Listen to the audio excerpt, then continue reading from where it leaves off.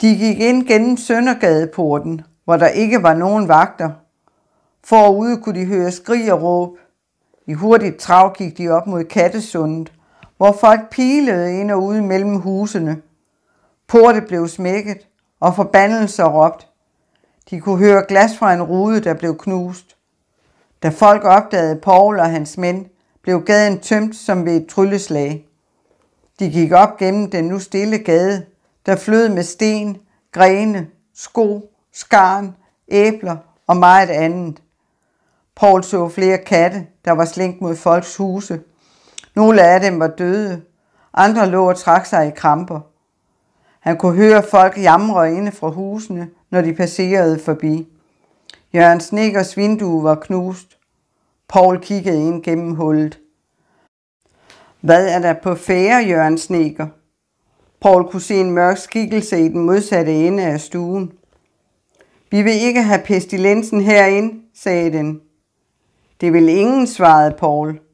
Men hvorfor alt det på styr? Vi har aftalt, at vi ikke vil putte hinandens navne i sædelkassen. Hvad skændes I så over? For pisket kævleri. Folk vil have bevis for, at de andre ikke er syge. Snikkeren blev stående i den modsatte ende. Men det kan kun den kongelige læge afgøre. Han kommer ikke herned. Han kommer til alle, der har brug for ham. Sig det til de andre i gaden. Det kan de selv gøre. Paul var overrasket over snekerens næsvished og rejste sig op.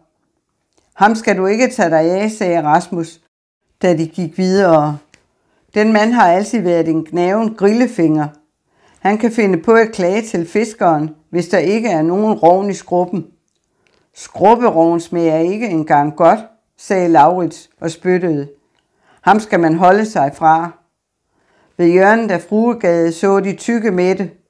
Hun holdt en kat i halen og svingede den ind over muren til Thomas Kremmer.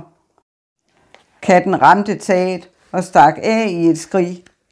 Tykke Mette slog hænderne mod sine røde flæskekinder, da hun opdagede Paul.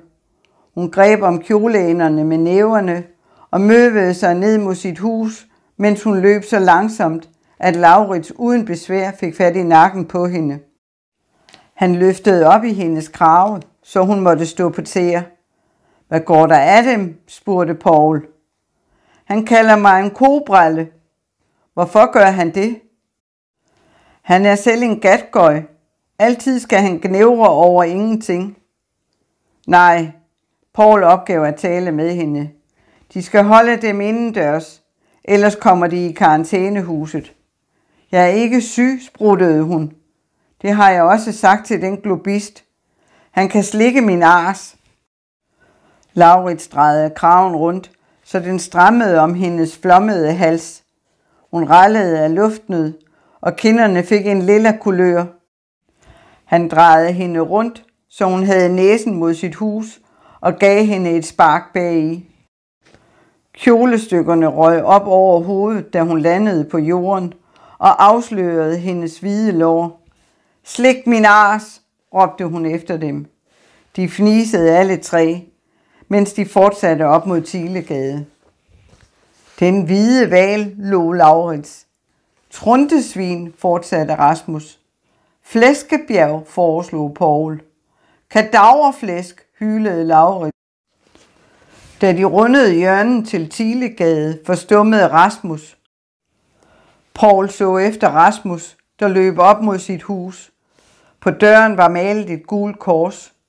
Rasmus hamrede på døren. Konen åbnede et vindue. Du må ikke komme ind, sagde hun. Hvad er der sket, spurgte Paul. Moritz Bysvend kom og malede et kors på vores dør. Er I syge, spurgte Rasmus. Angst blussede ud af hans øjne. Paul kiggede hen på sit hus, der lå ved siden af, og videre ned ad gaden. Mads Krogs dør var stadig rød, men heldigvis så det ikke ud til, at andre døre i gaden var malet gule. Nej, jeg ved ikke, hvorfor vi er blevet angivet. Vi har ikke været ude. Hun holdt om sine to tvillingedrenge og kiggede nervøst ud på Rasmus. Jeg kommer ind til jer, sagde han. Det må du ikke, udbrød hun. Paul holdt om hans skulder. Gør det ikke. Vi får lægen hernede, så han kan undersøge dem. Føler I jer syge? spurgte Rasmus og rakte hånden ind til hende. Nej, alt er vel. Vi er bare nervøse. Det er ikke godt, sagde Paul. I må ikke bekymre jer. Det kan få sygdommen til at angribe. Hun nikkede beklemt til ham. Jeg skal prøve. Mine drenge, sagde Rasmus. Far kommer hjem til jer. Mangler I noget, spurgte Paul. Skal jeg få min kone til at bringe jer noget? Tak, vi har alt, hvad vi skal bruge. Jeg kommer igen, sagde Rasmus. Vi sender lægen, lovede Paul. Laurits og Paul måtte trække Rasmus i hver arm op til torvet. Gå ned i kælderen med Laurits, sagde Paul, da de stod foran rådhusdøren. Drik en øl, så du kommer til hægterne igen. Jeg går op til bosen og finder ud af, hvor lægen er, og så sender vi ham ned til din familie. Rasmus nikkede og gik tungt ned ad trapperne. Paul kunne ikke høre nogen lyde inde bag bosens dør, og gik ind uden at banke på. Sidder du her? spurgte han, da han så bosen, der hang ind over bordet med hovedet og armene. Han rejste sig, værkbruden op.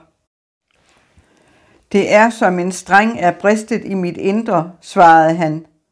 Han fik Paul til at tænke på en marionetdukke, der kun blev holdt oppe af en snor fra isen. Resten af kroppen hang på ham. Hvor har du været så længe? Han så klagende på Paul. Er der sket noget, mens jeg har været borte? Jeg sidder her og tænker på min dreng. Der ligger solen oppe på loftet. Min hustru og mine børn går urolige rundt derhjemme og venter på at finde ud af, om de også er blevet befængt.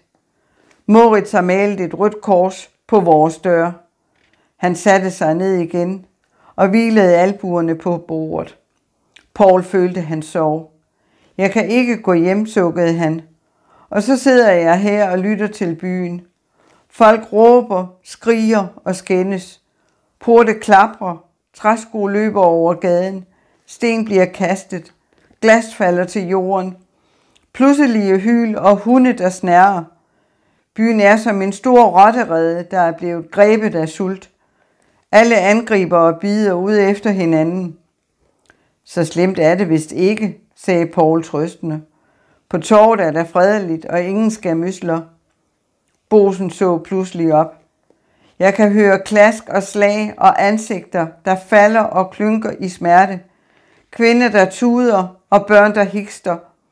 Det er Ragnarok, tidernes ende, og på loftet ligger min dreng. Bosen lagde hovedet på bordet og hulkede. Paul blev bange og vidste ikke, hvad han skulle gøre. Hvor er lægen, spurgte han. På loftet.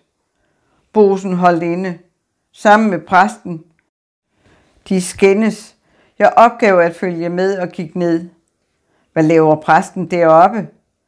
Jeg bad ham give min dreng herrens velsignelse. Lægen siger, at det ikke er nødvendigt. Hvor har du været? Ude i Halsted på klostret. Alting bryder sammen her, og så tager du på langfart og er væk det meste af dagen. Der er kun syv soldater tilbage. Hvor er de andre? De er stukket af, og vi har forhøjet lønnen helt urimeligt til de syv, der er tilbage, under den forudsætning, at de bliver, så længe vi ønsker det. Men man kan ikke vide, hvornår de også forsvinder. Hvad fandt du ud af? Han så på Paul med røde øjne. Godt nyt. Jeg fandt moren, og hun fortalte, at pigen hedder Susanne. Bosen smilede kort. Det er et kønt navn, men det er nok for sent nu. Han sukkede ud gennem næsen med en blæsende lyd. Hvad er for sent? At bringe orden i byen ved at sætte en i galgen. Bosen faldt i staver, og Paul benyttede lejligheden til at læse baglæns ud af døren. Det kan de ikke mene. Paul stod ved stigen, der førte op til loftet. Han kunne høre ivrige stemmer deroppe fra. En af dem var præsten. Jo, svarede han og lå. Obduktion af den døde krop er Guds bespottelse. Når først mennesket er dødt, tilhører det Gud, og så må vi ikke vandære den døde ved at skære i kroppen. Det må de da kunne forstå. Præsten lød til at være i løftet stemning. Paul kravlede derop. Ah, byfod. De kommer netop i rette øjeblik til at afgøre en disput. Loman havde lagt sin dragt og sad skaldet og i krøllet skjorte i skrædderstilling på gulvet. Lænet op af et spær sad præsten. Jeg er ikke sikker på, at byfoden er den rette til at afgøre den slags materier, sagde præsten. Underkender de nu også den sokratiske fornuft, spurgte Loman og Lo. Ja, det ved den søde grød. Fornuft er blasfemi. Gud kan ikke begribes af fornuft. Det siger også Luther. Lærdom er ikke andet end forfængelighed. Man vil bryste sig af sin klogskab og gå Gud i bedene. Det kommer man ingen vegne med. Det eneste, der tæller, er vejen til frelsen og det hinsidige. Alt værtsligt er syndige omveje, der fører bort fra frelsen. Og alligevel har de brugt tid og energi på at blive en af byens rigeste besiddere. Det er Guds vilje, at jeg skulle tilstås jordisk rigdom, men det er heller ikke relevant her. Sagens kerne er, at fysiske og ikke åndelige studier af naturen ingen betydning har for vores frelse. Vi skal forsage lærdom og give afkald på fornuften. Kun på den måde kan vi opnå frelse og fred i sindet. Dermed giver det også sig selv, at vi ikke skal skære i de døde kroppe for at blive klogere på helbredelse af de syge. Men anatomien er jo central, indvendte Lohmann. Hvis vi ikke studerer, hvordan kroppen reagerer på vores behandlinger, hvordan kan vi så vide, om de virker? Vi er nødt til at kende mekanikken i kroppen. Naturen er et spejl, som vi skal studere for at forstå Guds skaberværk. Naturen er en bog, vi skal læse. Ved de ikke, at Adam og Eva blev sat i Edens have for at studere naturen? Præsten lå hjerteligt. De er virkelig skæg, Medicus. Adam og Eva blev ikke sat i eden for at studere noget som helst. De blev sat i eden for at indse deres sønder, så de kunne blive dømt til at arbejde i deres ansigters sved. Har de slet ikke læst Bibelen? Præsten og lægen skraldlå højlydt til hinanden. Paul forsøgte at afbryde dem med en kort rømmen, men de lå ikke til at høre ham.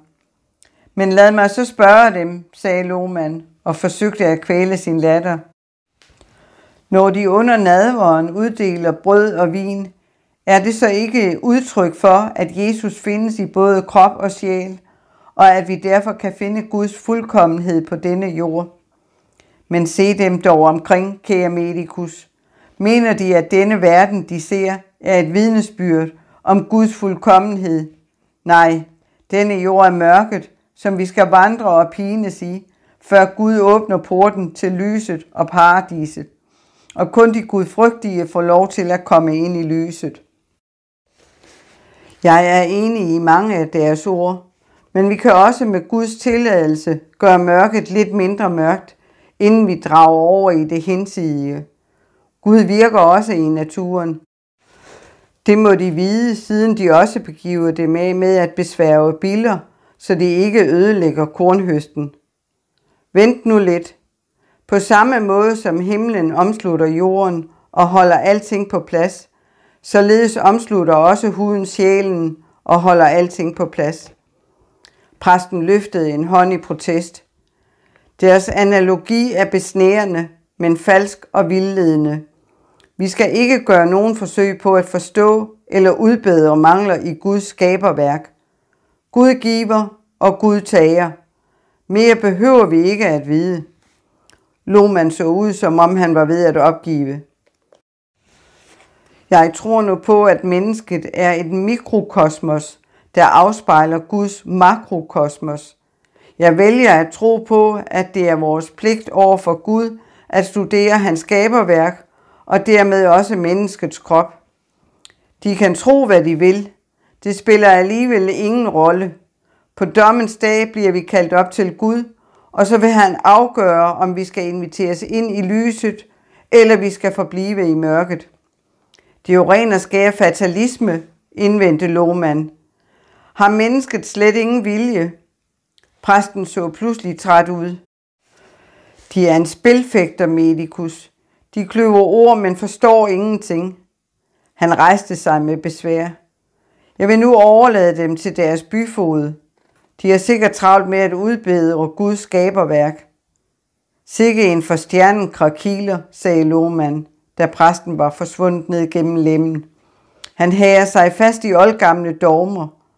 Det er den slags, man er oppe imod, når man prøver at skabe nye metoder. Men det er kun positivt. Det er et tegn på, at man er på rette vej. Han så smilende op på Paul. Hvad bringer dem hid, byfod? Er der sket noget nyt ude i den store verden? Min vægters kone har fået et gult kors på sin dør. På et urigtigt grundlag, formoder vi. Det kigger vi på. Han rejste sig op og tog Paul under armen. Men hvad med koncerten? Har de arrangeret den? Paul så beskæmmen på ham. Nej, det har jeg glemt. Lohmann slog ud med hånden. Det gør ikke noget. Vi kan hurtigt stable en koncert på benene. Jeg hører jo, at de også spiller et instrument. Han smilede til Paul. Jeg? Ja, dem. En lut. Paul følte, at lægens ord strammede om halsen som en lykke. Nej, det gør jeg nok, men det er mest for mig selv. Men måske kunne de overtales til at spille en duet med mig. Jeg spiller nemlig også lut. Det vil ikke være passende, tænker jeg. Hvorfor ikke? Lohmann klemte øjnene sammen i et skælmt smil. Det egner sig ikke for en byfod at optræde offentligt med musik. Det kan de måske have ret i. Men hvem kan vi så få til at spille? Pauls tanker løb hurtigt for at finde andre musikere. Vi har en spillemand fra Klostergade og Maren Sitalar fra Vejlegade. De er dygtige musikere. Jamen, så tager vi dem. Jeg spiller også gerne et nummer. Jeg kan forstå på jeres borgmester, at det er tiltrængt med adspredelse blandt byens indbyggere. Jeg vil derfor foreslå, at vi spiller en koncert allerede i morgen middag på torvet. Vil det passe ind i det hele, tror de? Ja, det tænker jeg er et godt forslag. Godt. Vil de give de to andre ærede musikere besked og befolkningen i det hele taget om, at de i morgen er inviteret til musikalsk underholdning på byens torv? Paul bukkede taknemmelig over at være sluppet for at optræde og gik hen mod loftslimmen. På vej ned ad stigen fik han øje på Bosens søn og stoppede. Hvordan går det med drengen? Desværre ikke godt. Lohmann var ved at iføre sig sin dragt. Vi har givet ham et kviksølvdampbad, men som de kan se er den blå farve vendt tilbage i ansigtet, og hans sved er alt for hæftig. Kan de redde ham? Jeg tvivler, når sygdommen er så fremskreden. Han er desværre alt for fugtig. Vi vil prøve at trække væske ud af ham en gang til, men jeg er bange for, at det ikke vil gøre en forskel. Der er intet at stille op. Jeg har en sidste kur at foreslå Bosen, men den er kostbar, og den tilhører nok det mere spekulative hjørne. I hvert fald har jeg ikke hørt om nogen tilfælde, hvor den har virket. Men man kan jo altid gøre et forsøg. Det er vi ofte villige til. Paul nikkede og gik ned. I kælderen fandt han Rasmus og Laurits med hver en kande øl. Kældersvinden var mødt på arbejde og kom med en kande til Paul. Han bor her nu, forklarede Laurits. Hans familie har fået et gult kors. Anna Kølles dreng hjælper ham. Paul opdagede drengen, der sad i et hjørne og tætnede en tønde. Rasmus sad ubevægelig og sammenfoldet om sin elendighed. Med næverne varmede han ølkanden. Paul klappede ham på håndledet.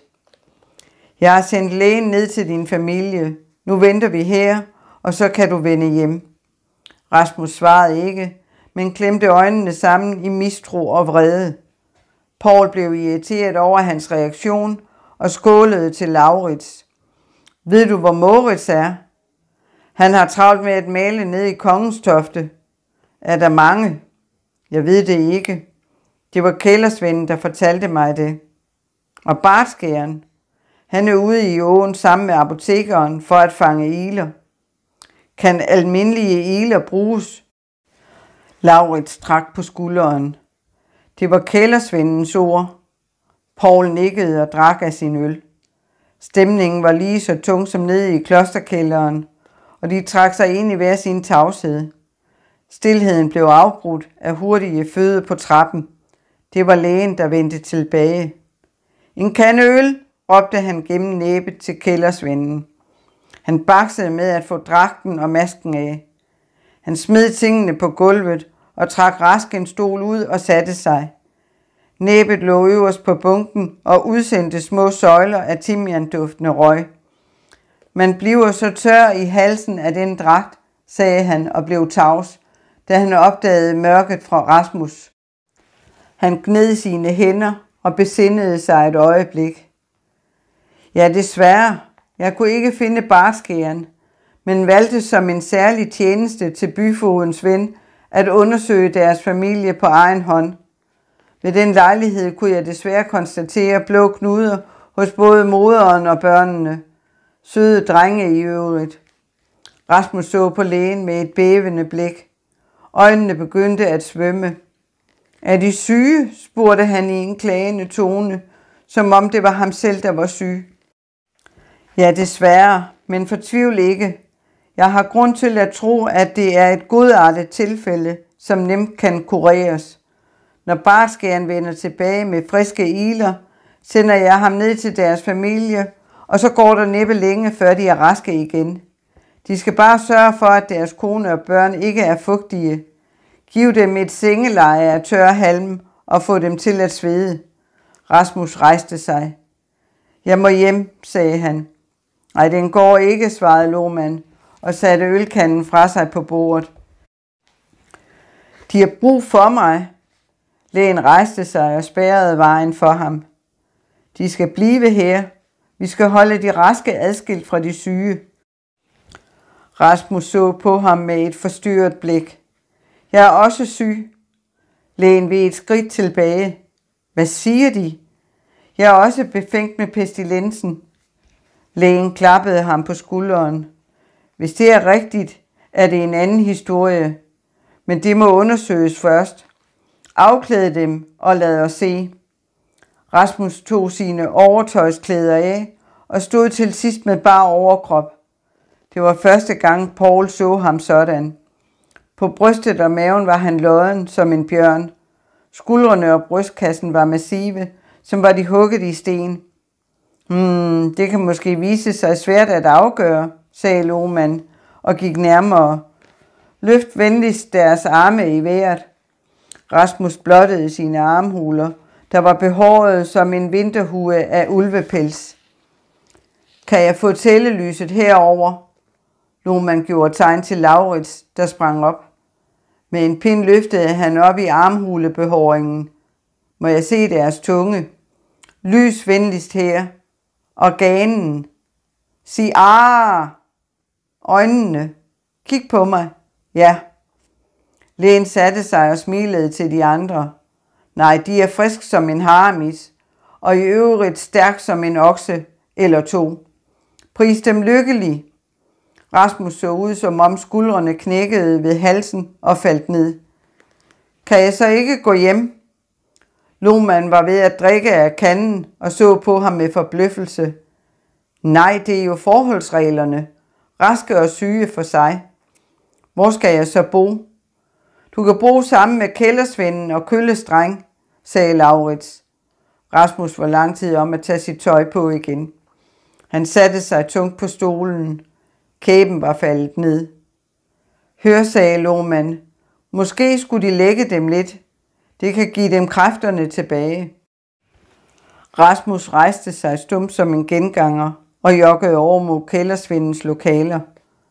Stakkels mand, sagde han, da Rasmus var gået.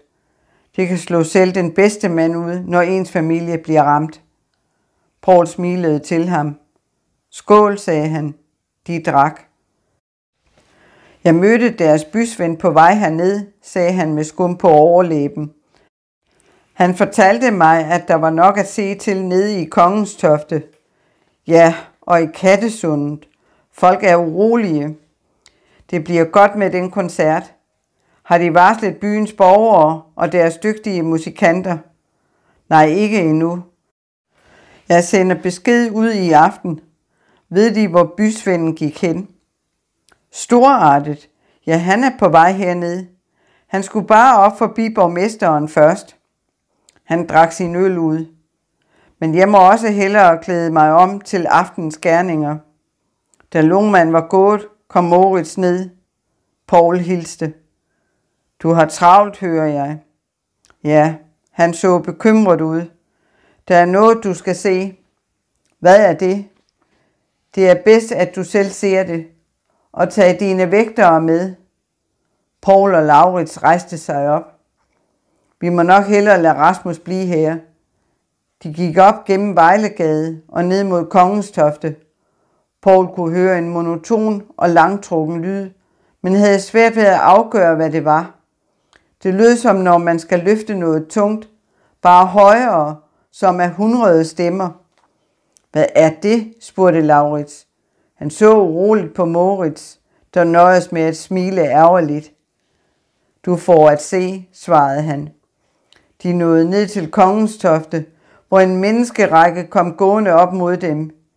De gik baglæns og holdt fast i hinandens skuldre, som i kædedans.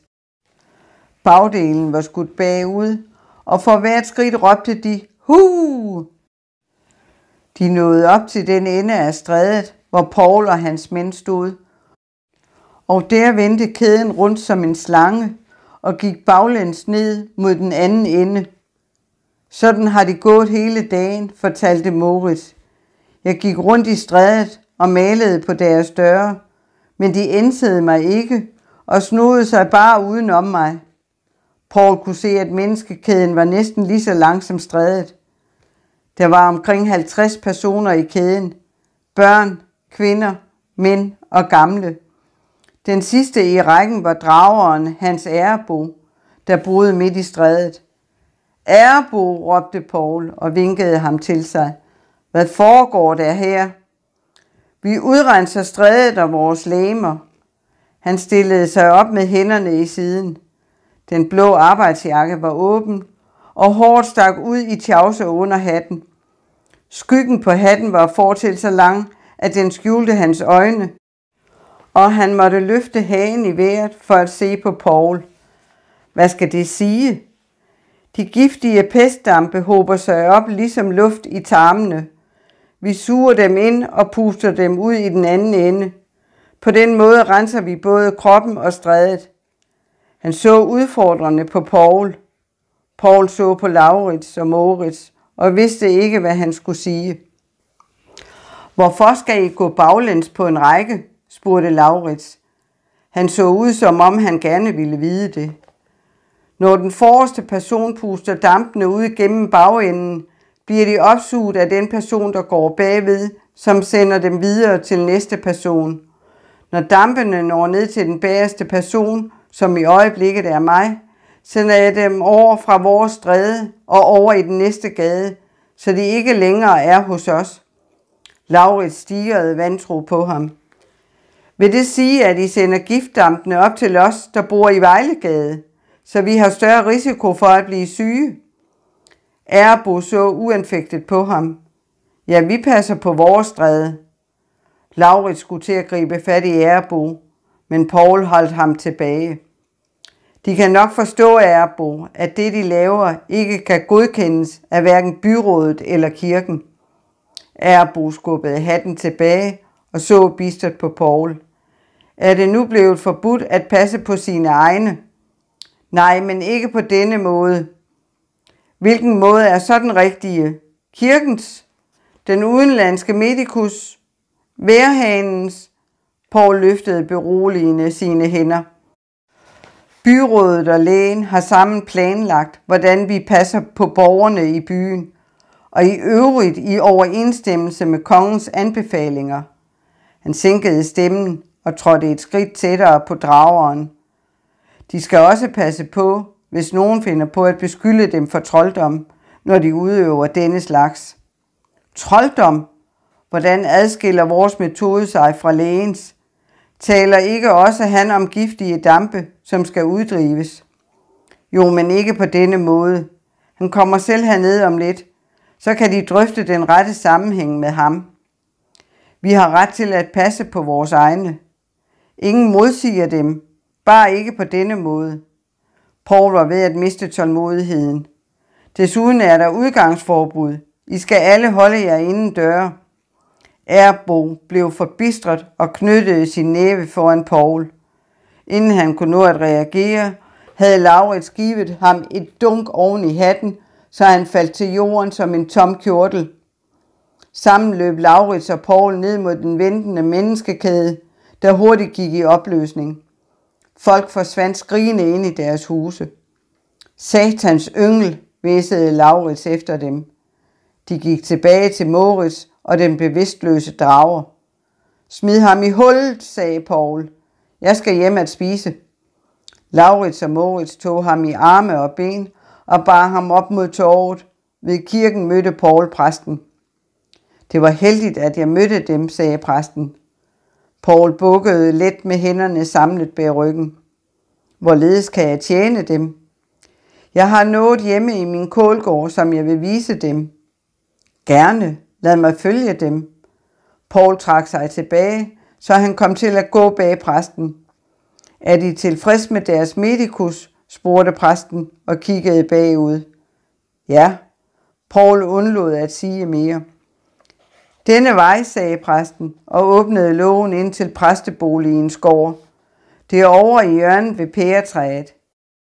De gik derover. Nederst på pæretræets stamme var en død kat bundet fast med sort garn. Øjnene var stukket ud på den, og to hvide sten var proppet ind i øjenhulerne.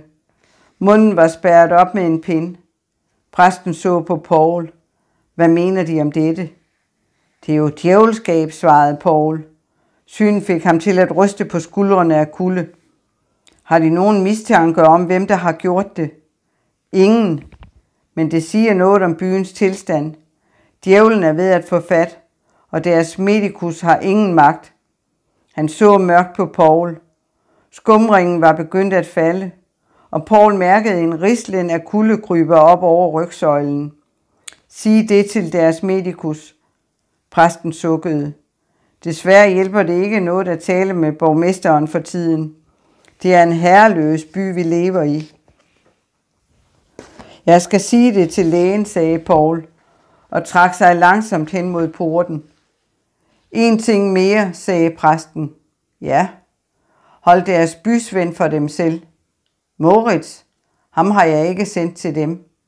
Han kommer rendende hele tiden med klude, frugter og brød. Mine tjenestepiger er bange for ham. Jeg skal tale med ham. Paul rev sig løs og gik hastigt hjemad, som forsøgte han at lægge kulden bag sig.